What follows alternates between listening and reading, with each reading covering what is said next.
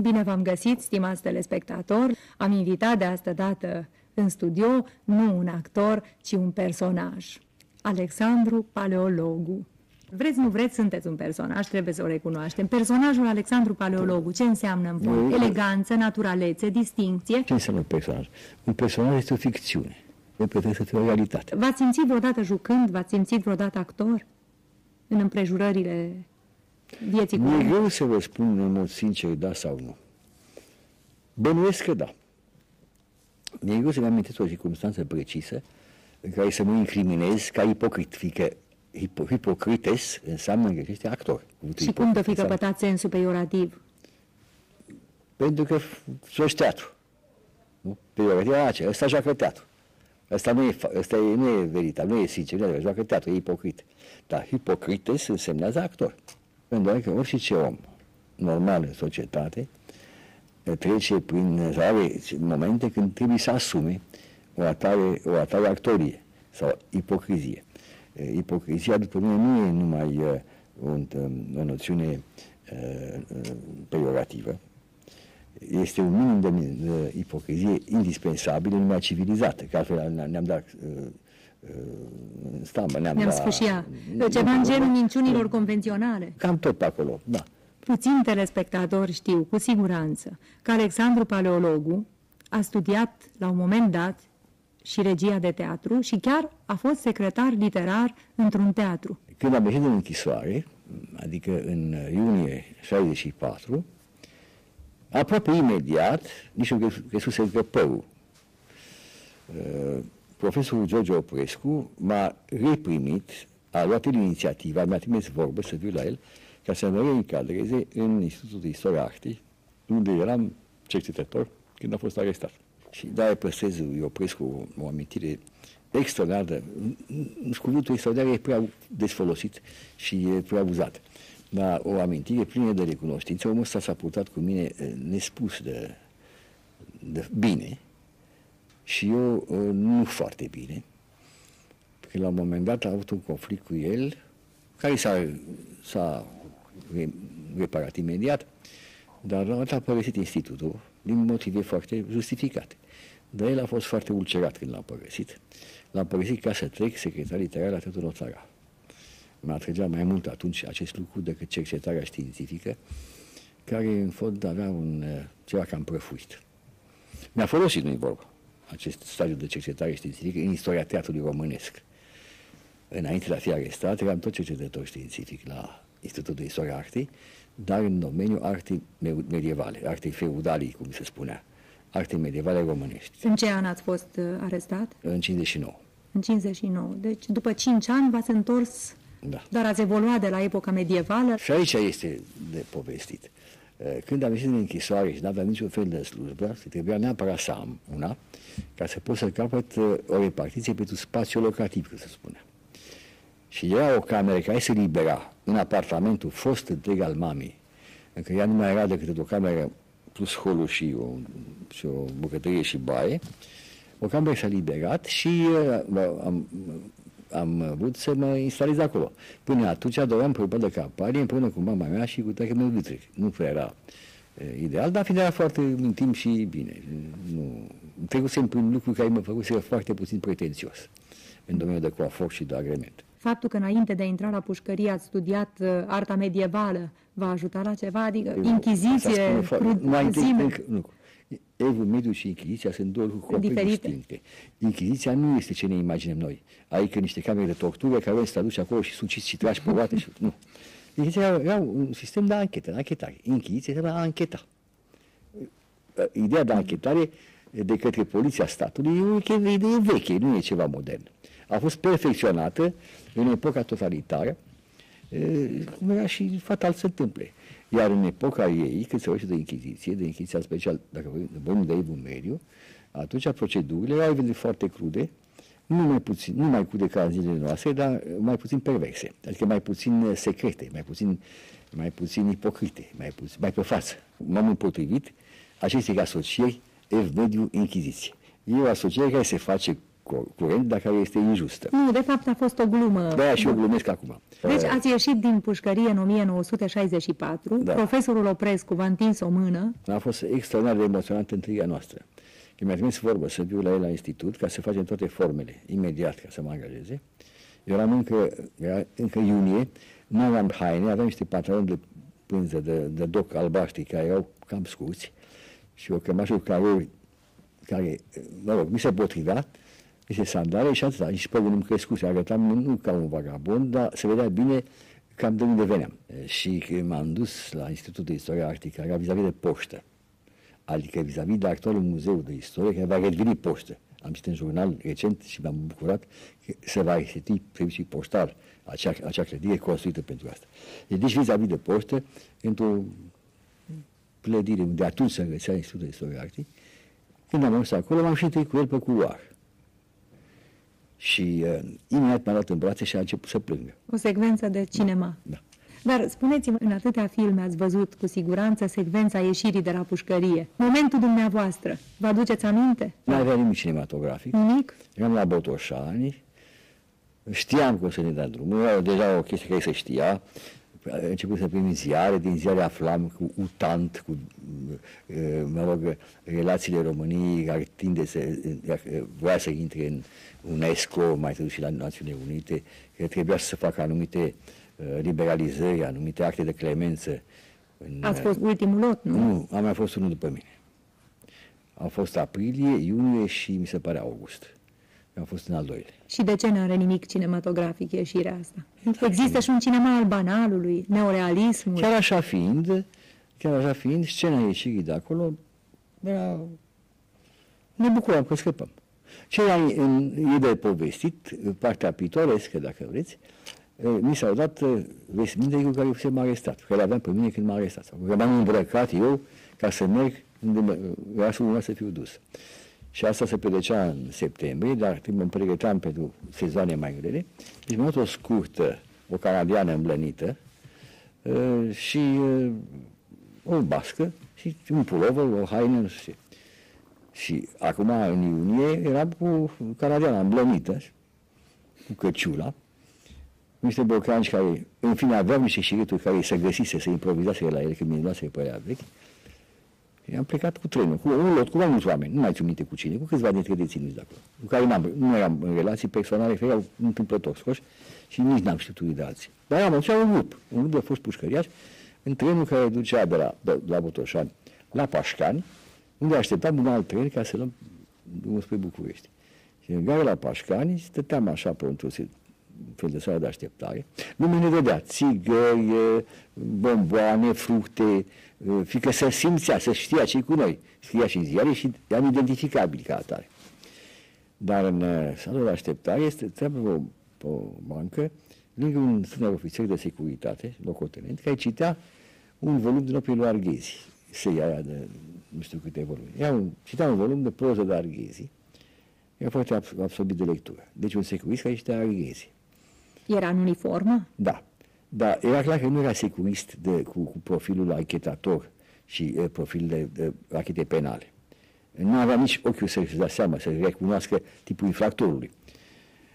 Pentru că, intrând în vorbă la un moment dat, nu a remarcat că era un păcat bizar uh, pentru sezon, nici că avea părul necrescut, dar remarcat lucrurile astea. Mă că am fost, aici să se întâmplă, mai veniți aici cu, cu, cu într-o delegație să cu o ocazie. Și eu m-am uitat așa la el mai zâmbitor. Și, ah, a, da, e, vă urez noroc. Dar că și-a dat seama abia foarte greu și târziu ce hram purtam. Adică nu avea deloc un ochi nu de profesionist. De, da. de că avea alte sarcini care le aceste instituții. Poate se ocupa de cultură, dacă citea piese. Și țineți minte, asta e secvența pe care o țineți minte. Tare. E amuzant. Și vă mi-am da. cu trenul, am mers noaptea, noaptea a fost inconfortabil, dar inconfortul era un lucru pentru mine așa de familiar că nu m-a mai deranjat deloc. Și când am spre București, am trecut pe la zona petroliferă, am niște uh, arhitectură de asta industrială, ceva care nu exista încă la data restricției mele, m-a frapat schimbarea de peisaj, nici în bine, nici în rău. M-a frapat doar atâta, că e alt peisaj. Și mă întorc, gândeam acum cum o să fie reîntâia cu mama. Fiindcă mama lucra foarte aproape de gară. Și deci mă duceam înapoi la domiciliul de unde fusem ridicat. Nu știa că veniți. Aștepta să se știa. Nu știa că viu atunci, dar era, toată țara știa că ies pușcăriașii în, în, în valuri. Deci nu era, un, nu era un lucru secret, aștepta, dar spera de mult, pentru că speranța este altceva decât realități. Tot timpul cât a fost închis, se spera că poate vine un decret, că poate vine o amnistie, că poate vine ceva. Era și așa în, în imaginea sau în imaginarul deținuților era o chestie mitică, codul Vișinski. Când se va promulga și la noi codul Vișinski. O ficțiune totală, nu există asemenea, asemenea cod, un cod care e, făcea nu știu ce calcul, care ducea la eliberarea, până la libertatea deținuților. Era o prostie. Dar asta era mitologia noastră a deținuților, care eu nu credeam. Dar mulți credeau. Și ați ajuns în gara de nord? Primise scrisoare? Primise, primise câteva vreme, pentru că de nu primise ani de zile, în ultimul an eram la o colonie penitenciară unde am ajuns topometrist și am, deci am putut să am uh, carte poștală, fiindcă nu era normă. Când era făcut normă, nu aveam niciodată normă, făcută ca să plătiți carte poștală să scriu acasă. Dar atunci am început să am cărți poștale, am făcut o 3-4, în care am scris și am cerut să mi se trimită. Uh, pulover, uh, nu, nu mai aveam mic. Nu mai aveam niciun fel de lenjerie. Mai aveți cărțile astea poștale? L-am găsit recent într-un secretar la mama puse strâse cu un, o panglicuță, cu creion care se cam șters. Dar ce am cerut, că ajunsesem într-o altfel, nu mai aveam nimic decât pantalon de pânză rupt și o haină de pânză și restul nimic. Și o băieță de pus pe cap. Completamente în picioarele goale, fără cămașă, fără nimic, nu mai aveam nimic. Și s-a întâmplat să, printr-o prejurare oarecare, totuși așa este hazardul sau destinul, am ajuns topometrist. Și ați stat de sculți unele zile, că n-aveați ce încălța? Nu, unele zile, lung, lungă vreme. Adică toată vara lui 62, adică din prima 62, toată 62, toamna lui 62, până la fin de toamnei, când am ajuns topometrist. Ați stat de sculți? Păi da, e mare lucru ăsta. Eu în viața mea nu la mult, din plăcere, nu din obligație. E un sport pe care îl plac. Asta e altceva, dar acum să nu... Mă ajut, nu, m-a ajutat foarte mult. Acest... Aveați sau nu aveați ce să încălțați? Păi nu aveam, nu de la un coleg pușcăriaș, de la un soldat care vă păzea să vă fi dat? Nu știu, problema nu se pusese deocamdată. Nu, nu, asta, nu e asta interesant în povestea asta. Interesant e că am văzut topometrist. Asta a fost salvarea mea. Că am început să am ciorapi, bun, da. bocaj de vizon, pulover, nescafe, țigări. Am devenit un lord din momentul ăla. Adică din, din, din stadiul de... Ați redevenit. Din stadiul de, de sclav al statului, am ajuns un fel de de magnat al acelei, acelei colonii penitenciare, unde a dat și o epidemie de hepatită, deci nu se mai lucra deloc, și uh, gardinii se fereau să intre în lazaret, să nu se contamineze. Eu mă duceam că eram un amic meu doctor acolo. Stam toată ziua la șuetă, la fumații, băut Nescafe, la șuetă de filozofie cu Sergio George. Șuetă de filozofie? Și altele. Cu prietenul meu Sergio George. A fost o epocă formidabilă. E bine, asta am ajuns mulțumită uh, împrejurării că un coleg al meu, Ian Culescu, care era poliglot și care, fiindcă vorbea englezește, un inginer ungur, îl cheamă moldovan, era ungur, îl luase ca uh, să, țină, să țină mira la topometrie și să aibă carte postală în schimb acestui serviciu care se făcea nenormat. Însă Ian Culescu era actiat și el pe codul Vișinski. Și ce vă ăsta cu codul Vișinski? Unde găseau pe câmpul hârtii mototolite, de obicei hârtii folosite în loc de hârtie igienică pe câmp, le luau ca să citească atunci, dacă nu cumva s-a promulgat codul Vișinski, dacă nu cumva zic, fragmentul ăla de ziar conține ceva de codul Vișinski. L-a prins pe băiatul ăsta, când, a întors, când s-a întors la, în, în colonie de, de pe câmp, l-a prins la poartă, că poartă la Marea Vamă și Marea Verificare și acolo poartă era o chestie de postele infernului, l-a prins, l-a bătut măr și l-a dat destituit din funcția de de topometrist. topometrist. Și atunci inginerul moldovan a zis să spune, domnul Păru, vorbiți englezește? E da. Am mai uitat, dar vorbesc totuși curent. E, vrei să fii topometrist? Păi nu mă pricep. Nu e nevoie. Țineți mira și faceți ce vă spune. Aveți carte poștală și vorbim englezește. Perfect. Și așa am ajuns dintr-o dată topometrist. Dar de ce îl interesa pe el dacă vorbiți englezește? Că vrea să vorbească englezește, vrea să se exerseze limba engleză. Ah. Asta făcea cu Ian Culescu. Învăța englezește. Și ați reușit să-l învățați? Nu știu. Dar nici n-am făcut eu știu, că am 3, 4, 5 fraze, mai mult în toată povestea. Bun, ne întoarcem la secvența întoarcerii acasă cu mama care vă aștepta... Era de vreme dimineața, era vreo șase jumate. M-am la încă în pat, tati mă vise să bărbierea, când au geam și-au dat seama ce despre ce e vorba, deschide, he, he, ho, ho, cafea, nu știu ce, cafea, ceai, țigări, nu știu ce. Și bucurie mare. Dar, în timp mea s-a speriat când m-a văzut. Deși eu nu aveam sentimentul că arăt așa de mutilat. Dar s-a speriat când m-a văzut. Păi, aveam era cu părul necrescut, acum sunt chil, ce aveam păr, dar nu crescuse încă. Câți ani aveați? Aveam 45. Și fine, imediat șocolată, cafea, țigarete foarte bune, de toate, de tot ce vrei. Dar imediat am zis, dar am anxietatea că i s-a părut că băiatul ei se întoarce comunist. Și chestia asta a durat, pentru că comunist nu eram. Dar uh, aveam totuși anumite uh, idei sartriene. Ieșind din pușcărie, anumit, un anumit complex de vinovăție socială. Când timpul, în timpul muncii forțate la muncile agricole sunt infernale. Infernale mai seamă, și totdeauna așa s-a muncit, probabil cu mijlocirea unor vătavi care stimulau prin mijloace simple la îndemâna nici care sunt milenare. Și atunci ați văzut ce greu e și... Și am văzut ce greu este și ce rău este să stai plecat din șaie tot timpul și mi-a spus, da. asta e o vinovăție care am de clasă. Adică da. toate uh, agrementele și toată educația care a avut-o și toată Valerii, Proust, Malarme cu tare vin din faptul că alții au muncit și am avut beneficiile acestea da. câteva generații la rând. Deci, o prostie, e o imensă da. imbecilitate. Dacă ne-ați povestit întoarcerea acasă, poate n-ar fi neinteresant să povestiți și plecarea? În atâtea filme am văzut scena arestării. Mărturisesc că de multe ori mi s-a părut artificială.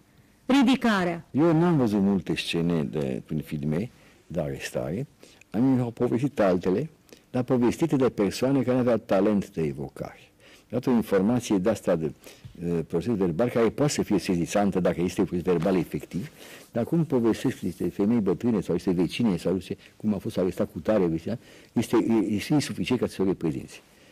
Uh, și cel de arestare am văzut prin filme, dar nici eu nu sunt cu cealaltă și mai puțin cu a mea. Dar dumneavoastră cum a fost? Eu mă așteptam de mult să fiu arestat. 9 luni m-au fricat și m-au ținut, m-au fiert în mare seacă până m-au arestat. V-au pregătit. A, a 9 luni de zile, care cea, știind că fiu arestat, că lucrul este inevitabil, am profitat de viață cât am putut. Adică am trăit mm. după gustul meu și mi-am făcut toate, toate bendurile, toate iubiri, în acele 9 luni de zile. Și tot bună zi a venit chestia asta. Noaptea pe la două, dormeam. M-am povit cu cineva la Andrade, că mă, mă, mă scutură de umăr și îmi pune o lanternă aprinsă a, a, a, a, în față și mi arată un mandat invinuitul Paiugu Alexandru. Am înțeles că asta era. Ei, am ieșit din pat, mi-am pus un halat și am stat pe un foto, de cât au făcut ei perchiziția. A durat mult. Stupide. Au făcut vraiște, au luat toate cărțile una câte una. Doar de găsit ceva. Și, dar nu se pricepeau ce carte este dușmănoasă, ca așa spuneau ei. Și au uitat pe la cărți așa. Și au găsit vreo și carte dușmănoasă? Au găsit o carte dușmănoasă, s-a părut lor.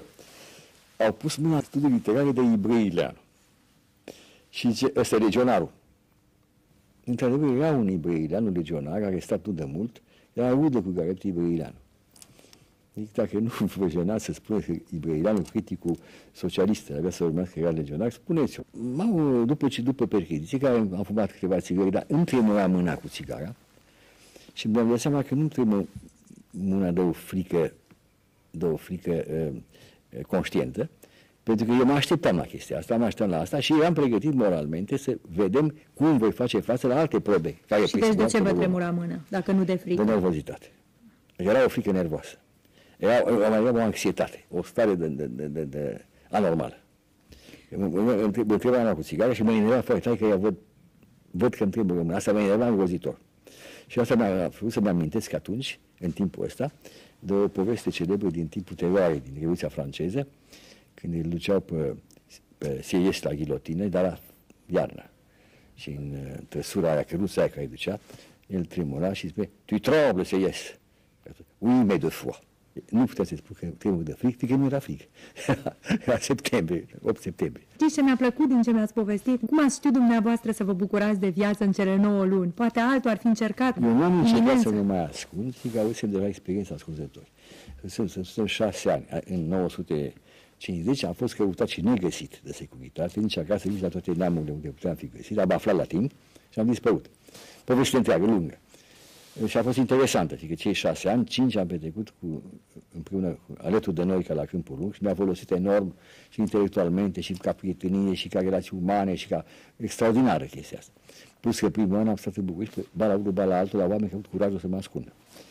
Dar nu mai vreau să repet figura asta. Și atunci, nouă, și nouă luni a fost o epocă, a fost o perioadă în care v-ați distrat. din moment în moment, fiecare zi era o zi câștigată, nu? Carpe diem. Și vedeam că trec, trec lunile, trece iarna, trece vara, primăvara trece vara și nu se întâmplă nimic. Dar trebuia să se întâmple. Da, dar altceva important aici, când tot timpul ăsta dumneavoastră nu erați copleșit de iminența dezastrului, ci vă bucurați de viață. Da, păi, mi spuneam, atâta cât mi se dă, să nu, să nu disprețuiesc. Adică fiecare zi este un dar de la Dumnezeu și ar fi absolut imbecil și mitocănesc, mitocănesc să, să, să nu mă bucur de el. Numai mitocanul nu se, să, să bucure de un dar care îl face. Deci, și cum vă bucurați de darul ăsta de la Dumnezeu? Era vreme frumoasă, mă plimbam uh, foarte mult, am avut foarte multe, acum la vârsta asta e jenant să mai povestesc, că atunci am avut o viață galantă, foarte, foarte, uh, cu foarte multe aventuri galante, ca să spun frumos, și mai cu seamă uh, de o speță mai, mă duceam pe la Mahala, îmi plăceau, îmi plăceau fetele astea mai simple și mai naturale și mai, care o naivitate și o grație, o grație după mine, remarcabile. Afară de asta, Păi aveam, aveam bani și cheltuiam în, mâncam seara până în de vară, până la restaurante, petreceam cu prieteni, adică citeam cât puteam mai mult, că multă vreme mă închipuiam că nu o să mai am timp de citit. Eroinele aventurilor ăstora galante din lunile dinainte de arestare le-ați mai reîntâlnit vreodată? Nu. Viața nu v-a scos în cale niciodată? Multe de ele am știut cum le cheamă, dar acum nu mai știu. Am o gratitudine, așa, am, trebuie să vă spun că uh, am, uh, o, o, în general, am avut totdeauna, de mic, de la vârsta de trei ani. Am avut o enormă tandreță și curiozitate pentru femei, fenomenul femeiesc, pentru feminin, pentru tot ce e feminin în lume. Da, Evic Weibliche. Aici a găsit că Goethe are marea lui înțelepciune și mare profunzime. De la trei ani. Da. M-a frapat întâi, început cu mama și am început, continuând cu uh, niște servitoare tinere de la țară, continuând cu niște verișoarele mele, mă, mă fascina fenomenul femeiesc, că sunt mai inteligente în general. La nivel egal, femeia mai deșteaptă decât bărbatul. La nivel egal. Și cu nivel egal iarăși, eu nu cred că există diferențe de nivel de inteligență. Există stări de inteligență, care nu sunt continue, nici constante. Nici om nu este tot tipul inteligent, la același nivel, și unul nu deloc. Numai și sunt constanți. Din filmul vieții dumneavoastră, din care ați decupat niște flash-uri, haideți să decupăm o secvență de comedie în care ați fost actor. Pe... Am întâmplat la colonia penitenciară e, Salcea, unde mi-a venit mie rândul să aduc pe o, o ușă, o fostă ușă transformată într-o fel de platou, tutoare rămăligă ca să fie distribuite deținuților din, din bata, brigada care făceam parte. Turtoare? dar se făceau niște turtori, la fel de mămăligă transformată în, în, într-un fel de, se chema turtori. Și uh, mi-a venit mie nu să-i aduc uh, pe acest uh, platou. Dar am încălțat cu niște bocanci uh, vechi și proști pe un nor, un, într-o curte, într-o cintă noroioasă și denivelată. Și când m-am apropiat cu turtoare de brigadă de oameni în, în, înfometați care aștepta abia să vină, am lunecat și am văzut atunci ca o hiperbolă, așa, toate turtoare descriau niște parabole extraordinare, așa, un fel de gerbă, un fel de, fel de artificiu de turtoare care se prăbușeau în noi și indignarea, revolta celor, ah, disperarea celorlalți, că eu, imbecilul ăsta, am, am aruncat în noi toată hrana din zi, o ține, din dimineața aia. Era dramatic pentru ei, că erau tutoare. Dar eu am avut, m-am perceput într-o, într-o postură de ridicul pur, de ridicul ca de, ca de fiind mut din anii 20. Nefiind un frică de ridicul, eu care ucide totuși. Eu cred că uh, ridicolul nu ucide. Nu ucide. Ar trebui ca anumite ridiculuri să ucide, dar nu ucide, la noi cel puțin. Dar e, e, orice om este capabil de fie ridicul. Și dacă e frică de ridicul, nu mai poate lua inițiativa niciun, niciunui act uh, o leacă mai, mai măreț. Pentru că uh, uh, uh, impulsul de, o, de grandoare sau de eroism, sau de lucruri care depășește cu una măsură. E la limita ridicolului. Ușor ridicol. Este cazul, de pildă, foarte frumos, în primul volum al Război și Pace, al lui Prițului Andrei Borconski, care vrea să fie erou la Austerlitz. Pornește cu steagul înainte ca să moară ca un erou. Și crede că a murit, că poate leșinat. Și a fost totuși, până la urmă, un fiasco, eroismul său. Mai târziu, când moare de adevărat la Borodino, acum e un moment extraordinar. Și nu este eroic, e doar bărbat, care își asumă rolul de a-și proteja soldații. Umorul m-a salvat în închisoare tot timpul, pentru că acolo erau ocazii rizibile extraordinare și dus la o esență a râsului, da, fundamentală, elementară, aristofanescă și rableziană. Am râs în închisoare formidabil și asta pe mulți irita. Cum ne mai și râzi? Îi dă mână să mai și râdă, ce nesimțire, spuneau câțiva imbecili. A zis, domnule, ce, ce bine ne face râsul Dumnezeu așa de, de tonifiant. Deci ați, erați un jovial în închisoare? Da, cum? Am Montaigne putut... spunea, cel mai desăvârșit semn al înțelepciunii e voioșia continuă. Da, sigur. Deci erați un înțelept. Sigur, sigur, sigur. Fiind voios. Indiferent cât de bine ți este în viață, trebuie să poți să știi să înduri, să suporți și să suporți elegant și cu umor. Mama a avut o tinerețe foarte interesantă, zic eu, pentru că afară de bogăție și lux, a avut și o, o educație ultra severă. Eu n-am avut parte de educația asta sa severă, fiindcă eu am fost răsfățat. Dar mi-a venit mai târziu, la 40 de ani, educația severă care îmi lipsea și mi-au aplicat-o cei de care vorbea din aur. Și v-a folosit? Folosit. E totdeauna util pentru cineva să treacă prin circunstanțe uh, lipsite de, de amenitate.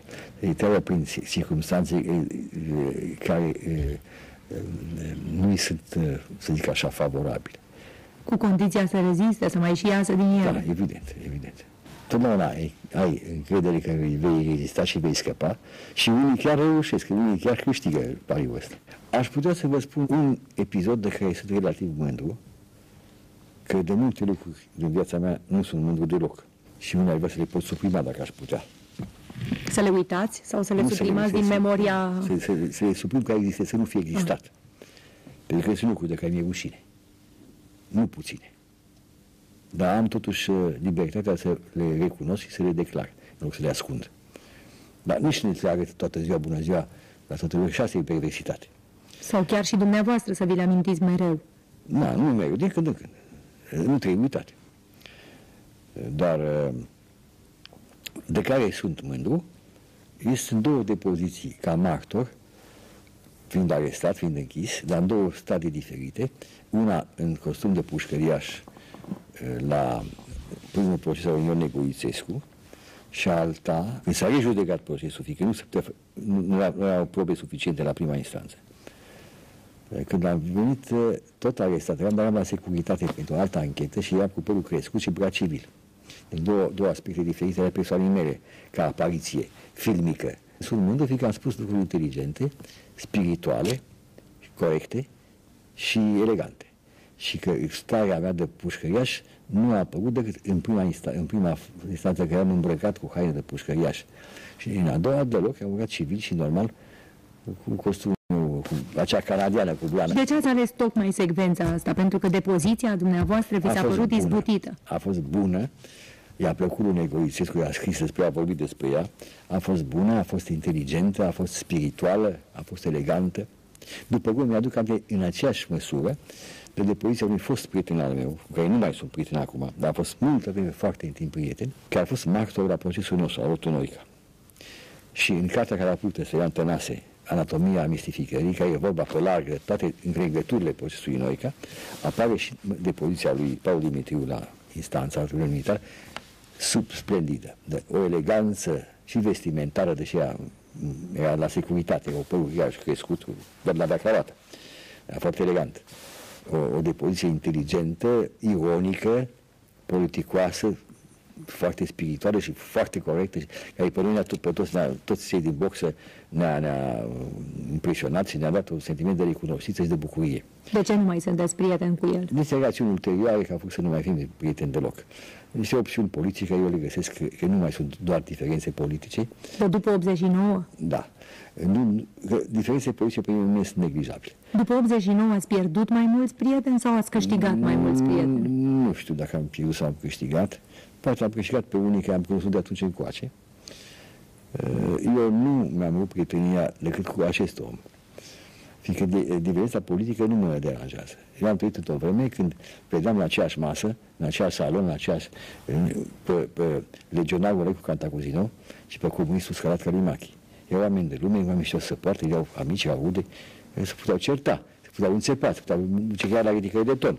Dar la aceste toate de spate și rupturi de prietenie, cum văd că sunt acum pentru, pentru divergențe absolut infime și minimale, se pare totuși că este un, e un triumf al mărlăniei. Să ne întoarcem la momentul în care mi-ați zis că ați fost un cinefil adevărat, un cinefil autentic. Ce părere aveți despre arta actorului? Dacă actorul este foarte bun, lui este lucru mare. Iar dacă nu e, nimic, sau lucru mic.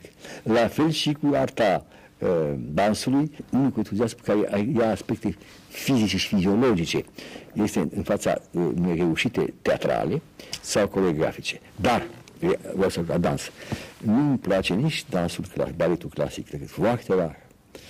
Îmi plac două tipuri de dans. Dansul orgiastic al negrilor, l-am văzut în Cuba și am văzut ce înseamnă dansul ăsta. Sau dansul impecabil, uh,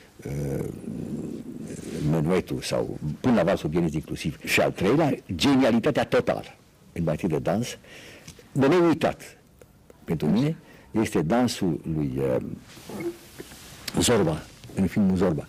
Dansul lui, uh, cum îl cheamă? Anthony Quinn. Anthony Quinn.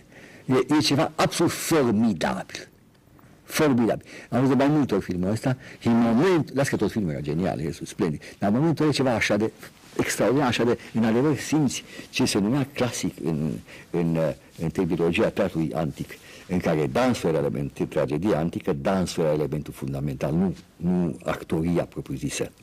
Actorii s-au separat, s-au, dis, s-au, disociat din elementul, din, din funcția primordială dans.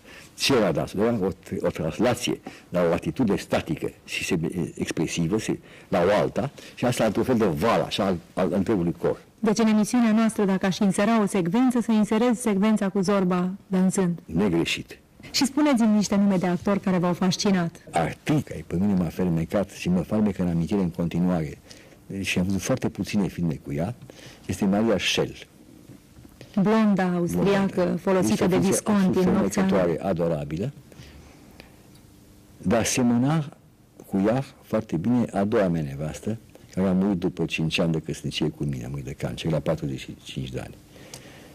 Uh, semăna cu Maria Șel. Câte căsnicii ați avut? Trei. Și a doua nevastă semăna cu Maria Șel? Da, semăna.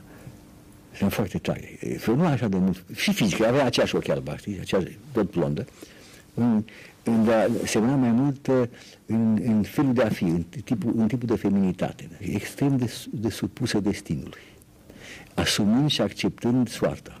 Mi se pare artista cea mai fermecătoare și mai fascinantă. Imediat alături de Romy Schneider.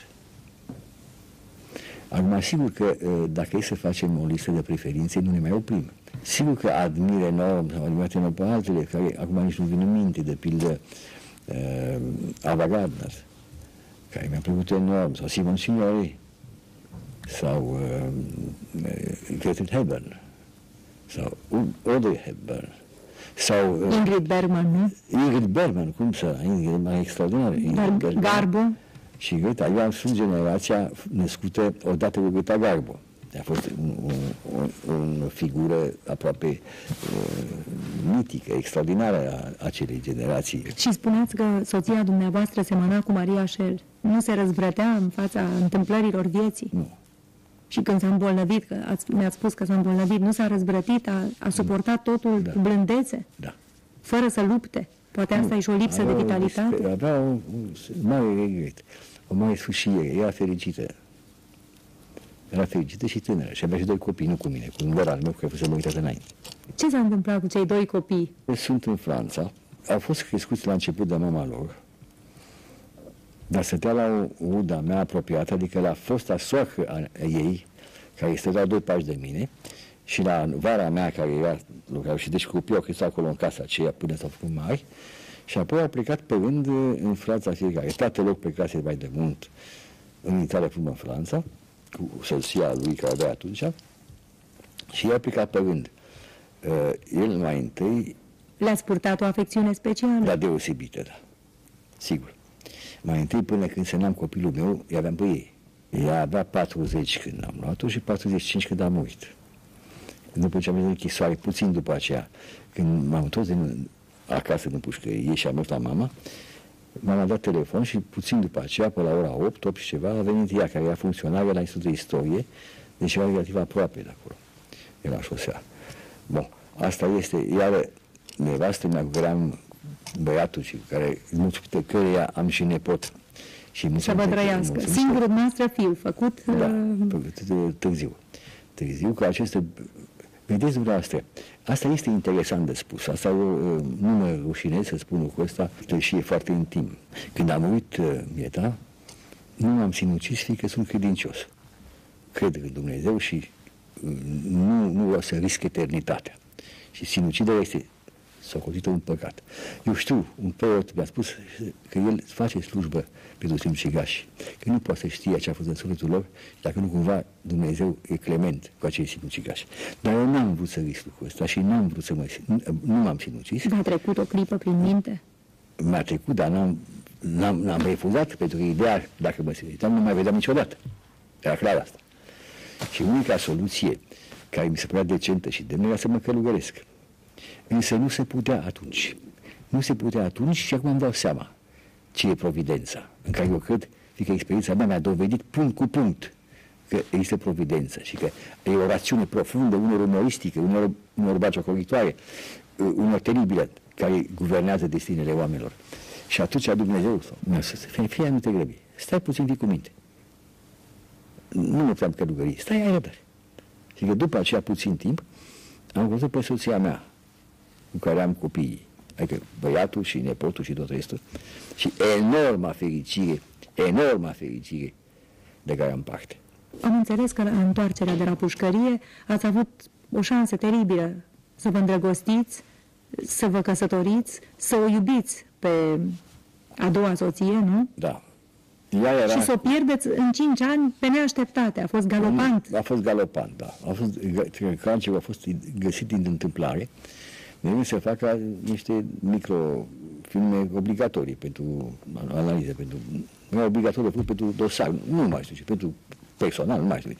Care ocazie doctorul a spus că se face o biopsie. Mi s-a părut foarte crud uh, chestia asta, să putea spune mai delicat. Bietul doctor a murit el de cancer înainte de moartea ei. Și mai ales că fusese dactilografă câteva vreme la, spital, la spitalul numărul 9, unde uh, bătuse la mașină multe, uh, asta cum se cheamă, analize anatomopatologice.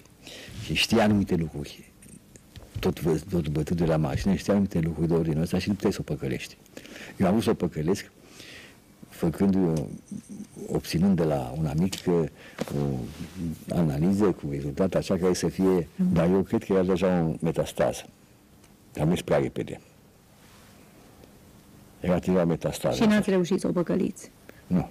Și nici n-am mai vrut. Nici n-am mai vrut, iarăși o experiență interesantă asta. În, în Lugele Noir al lui Stendhal este episodul, episodul final când el e conat la moarte și este în celulă aștept executare și când este singur cu doamna Dorenal, pe care iubise la început, care a vrut să o omoare și uh, este în, în perspectiva morții lui apropiate cu dată fixă, o fericire extraordinară. Timpul ăsta limitat care trecea vertiginos, dar care nu a mai făcut nimic altceva care putea să le turbuie fericirea. Și de asemenea noi, când am știut acum că ea va muri curând, a dispărut orice ce moment de iritație, orice timp pierdut cu alte treburi, orice pierdere, orice zăpăceală și pierdere prin oraș de vreme sau la cafenea sau la berie cu cineva. N-a mai ratat nicio secundă, nicio minută și n-a mai intervenit niciun fel de nervozitate și am avut, într-adevăr, așa cum știi, cu, cu, sub acest uh, teribil avertisment, adică ce, această teribilă sentință, dar, de asemenea, o fericire perfectă. Și n-ați sperat până în ultima clipă, totuși, să anulat sentința? Nu, nu era desperat. Și de aici vreau să spun acum, cu ocazia asta, de ce eu îi port, îi port o mare gratitudine lui Adrian Păunescu. Evident, politic, acum nu am cu el nimic comun, dar mi-am, mi-am uh, jurat mie însumi să nu vorbesc de rău în public niciodată. Am făcut de atunci că data cotro. Așa s-au, s-au exacerbat lucrurile. Dar atunci, în momentul ăla, când ea era gata să moară, adică în, în august 970, eram la Sinaia, stăteam pe un păt unde este, sunt vilele aceea și mâncam la acea cantină artistă, scriitorul de acolo. Și a venit Andrian Păunescu, Păunescu pentru trei zile la, la Sinaia și el știa ce e cu ea. Și a stat cu noi cam tot timpul și de dimineață ne întâlneam la micul dejun. Până seara când ne culcam, am făcut o să râdă, dar într-una cu bancuri, cu imitații, imitat pe Ceaușescu, cu cea fel de fel de chestii. Am făcut în mod deliberat să râdă, dar irezistibil. Am făcut o să râdă trei zile în mod programat și sistematic și irezistibil. Trei zile ea n-a mai, n-a mai avut în, în, în, cap ideea că moare. Mie mi s-a părut lucrul ăsta superb din partea lui. Și un gest, într-adevăr, creștinesc. Știți că e un vers al lui Emily Dickinson. După o mare durere urmează nepăsarea. La dumneavoastră așa s-a întâmplat? Nu nepăsarea urmează uitarea, adică ce urmează? Urmează cealaltă viață, viața care continuă. Viața care continuă cu tot ce s-a întâmplat. Dumnezeu mi-a dat să am iarăși o nevastă minunată, care îmbătrânim împreună și este minunat să îmbătrânești împreună cu cineva. Dar uh, uitarea nu face decât, că adică este o anestezie. Este o anestezie. Durerea nu mai este acută. Dar există pentru cealaltă. Există. Și mi-aduc că nu mai visez, o visez, o visez mult mai rar. Înainte o visam foarte des. Uh, îi găsesc scrisorile cu scrisul ei. Toate lucrurile astea nu se șterg. Dar viața știe să le ordoneze. Și durerea să nu mai fie acută. Dar este oribil să, să vrei să suprimi durerea se pare că este o prostie. Mania anesteziantelor în contemporan, totul să anestezie. E foarte bine, pentru dentist e foarte bine, să nu te doar la dentist, să nu te doar la operație, e foarte bine. Dar a, introdus, a, a intervenit, mulțumită acestor, acestor perfecționari uh, te, uh, terapeutice, a intervenit lașitatea omului în fața durerii. Durerea nu poate fi suprimată. Durerea o ții minte. O ții minte. Dar uh, aia nu se uită. Îți dau o bătaie să o ții minte că tu trăi. Am mâncat din astea și îi țin minte în continuare. Dar nu e mereu în cap. Nu tot uh, amețesc lumea cu el cu fac unii. Sunt alte lucruri mai interesante și mai frumoase deci și, mai, și mai actuale sau, mai, sau neactuale, dar demne de a fi actualizate decât astea. Iar uh, în momentul acela când a venit uh, evident că mi s-a părut că uh, pușcăria era o glumă pe lângă moartea unei femei iubite. Pușcă e o chestie poți să o asumi, să o, să o suporți, să o înduri așa cu o anumită uh, încortare, cu o anumită, sau o anumită lașitate, fiindcă omul nu e tot timpul laș, nici tot timpul curajos. Dar mă rog se poate suporta. Și omul poate suporta mult mai mult decât crede. Adică gradul de suportabilitate este foarte variabil și foarte extensibil. Dar, oricum, uh, nu numai durerea, nu, e infinit. nu numai durerea fizică, Eh, care este teribilă. Dar eh, faptul că ești scos din viața ta, faptul că ești, ești transformat într-un, într obiect și într-un sclav. Și tu nu ești asta. Dacă ești cineva, dacă ai în tine totuși alte lucruri decât cele care le aveai și ți-au luat, dacă e, unii, unii când în închisoare se percepeau ca nulități, nu mai aveau moșia, casa, funcția, bă, titlul și mai departe. Alții rămâneau aceeași, tot aceeași lectură am avut, aceeași gânduri am avut. Chiar și când ați fost bătut, ziceți, nu v-ați simțit umilit și n-ați simțit A, că nu mai sunteți? Nu există umilință în ordinea asta. Există durere. Iar ceea ce vor ei să facă, să fie umilitor, e umilitor în capul lor. Nici o atitudine, nici o situație în care este impusă prin constrângere nu umilitoare. În mință este una singură. Asta mi-a la o femeie care spune nevestii, primei mele neveste, când ea nu a ascuns. Și o femeie care a rezistat foarte mult la tortură și, la, și n-a spus de bărbatul ei unde era, Și a spus, dar nu există. Există durerea fizică pe care o suporți când ai încotro. O suporți până leșini, o suporți când ai încotro. Și umilința nu există, fiindcă totul se cuantifică în fizic. Adică tot ce-ți fac ție ca să te umilească moralmente este fizic.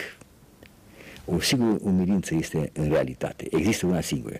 Cea de a spune ceea ce vor ei să te facă să spui. Ați plâns vreodată de durere? Poți să plângi la o durere fizică. Se poate. Se poate. Eu, eu am văzut persoane care au plâns la durere fizică. E normal, nu le-am judecat nici bine, nici rău. E o reacție fi, fiziologică. Eu nu am plâns de durere niciodată. Poate, Doamne ferește, aici, acolo, nu știu. Dar plâns de, de, de, de, de, de, de sfârșiere sufletească, asta da. S-au plâns de bucurie. Eu plâng foarte deseori de bucurie. Sau de înduioșare. Sau de amintire. Asta da. Eu sunt un care plâng ușor și mult. Dar nu de durere. Până acum am plâns înainte să moară. Singur, bineînțeles. Și apoi, după ce am murit, n-am putut să plâng.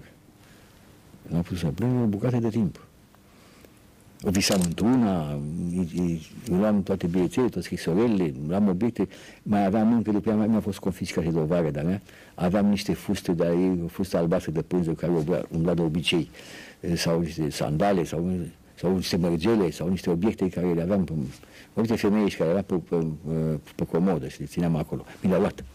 Bine au făcut, mi le-au luat pentru că a ajuns la fetișism. Dar nu, nu plângeam. Dar după ce am văzut filmul Solaris, în momentul ăsta cu femeia care a murit din cauza și vie și moare din nou.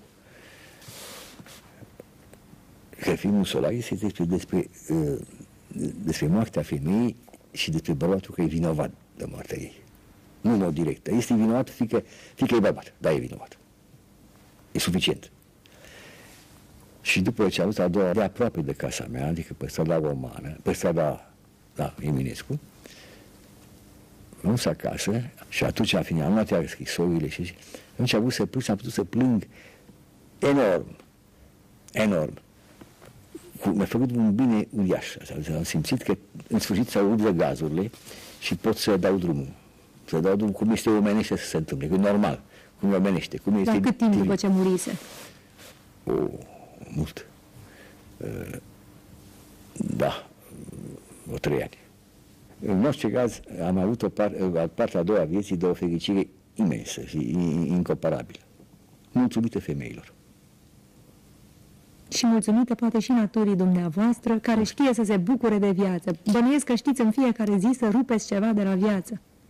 Dăm într și stricțiile. Nu mă apucă nervii și uh, mă apucă proasta dispoziție da. ca pe orice om de altfel. Și dar să știți, părerea mea e clară, când te apucă nervii și ești fost dispus... Ce e, trebuie făcut? E, nu trebuie, trebuie, trebuie să zici piei satana. Va de retro. Va de retro, da. e, e, e, un mic diablotan, un mic drăgușor da? care se amestecă. După cum un mic drăgușor, unele zile, te face tot ce pui buna să, să, să, să-ți iasă prost. Să-ți iasă prost. da. O să pierzi ceva. Am pierdut în câteva zile, mi-am putut un fular la care țineam niște mănuși, adică o mănușă, oh. în aceea zi. Și s-a întâmplat. Dacă ați fi putut să vă alegeți secolul în care să trăiți, care ar fi fost? Ăsta care trăiesc. Îmi displace, un secol stupid, într-adevăr stupid, atroce, oribil. Mie mi-a plăcut secolul XIX. Ăla, secolul XIX, epoca lui Caragiale și a lui Ion Ghica. Aici e România. Mi-a plăcut să trăiesc, dar n-aș fi avut... Lui Caragiale nu i-a plăcut. Da, și el avea prieteni atunci. A iubit femeie din vremea lui. Nu aș putea să, ar să fi trăit într-o perioadă în care soția mea n-ar fi existat, în care n-ar fi fost încă scris opera lui Plus, cel lui Solzhenitsyn, în care n-aș fi fost tabelul Paladii sau lui Matisse, dacă ar fi trăit în altă epocă, mai frumoasă, aș fi fost lipsit de anumită literatură, de anumite arte și mai de anumite prietenii. N-aș fi avut profilul pe care l-am, n-aș fi avut nora pe care o am și care mă, mă încântă, n-aș fi nevasta aceasta minunată care trăiesc pe la moarte. Așa că mi se pare absurd să, să, să, să, să-ți ucizi cei dragi vrând să te refuzi în altă epocă. Câți ani aveați când vi s-a născut primul copil? 54. Primul, singurul. 54. Și uh, îmi aduc aminte că eram la Paris când a murit uh, Yves Montand și care în timp ce era avusese deja criza, de care știa că o să, nu o să, nu o să supraviețuiască, și spunea celui care îl ducea cu mașina, știu că mor,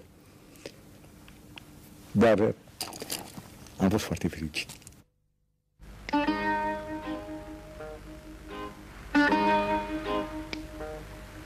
Let's go! What?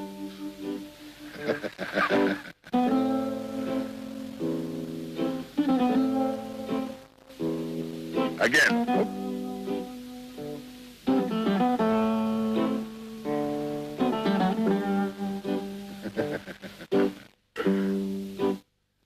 Now.